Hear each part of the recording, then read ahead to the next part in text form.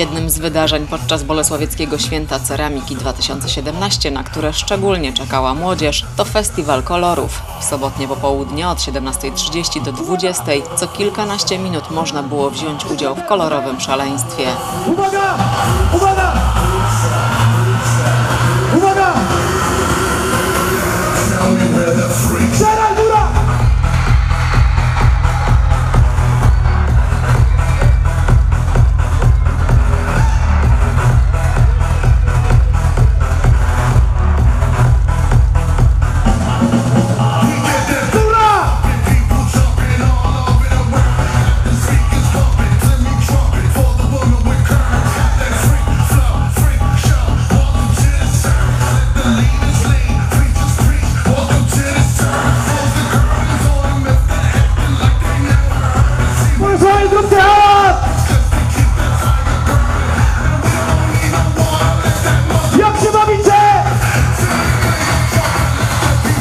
Była głośna muzyka, taniec i wystrzały kolorowych proszków. Rozrzucano także saszetki z kolorowym pyłem. Chętnych do pokolorowania się we wszystkie kolory tęczy nie brakowało.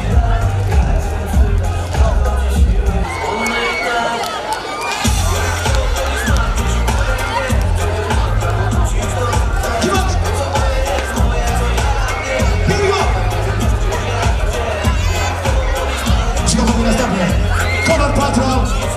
Pierwszy festiwal kolorów w Bolesławcu zaliczyć można do udanych. Po festiwalu kolorów potrzebny był każdemu na pewno porządny prysznic. Za to kolorowe wspomnienia pozostaną niezatarte.